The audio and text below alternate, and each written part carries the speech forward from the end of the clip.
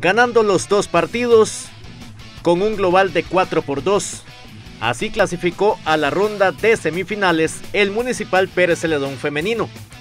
Las generaleñas dejaron en el camino a la Asociación Deportiva Moravia, con dos victorias de 2 a 1, la última en el partido de vuelta tramitado en el Estadio Municipal de Pérez Celedón.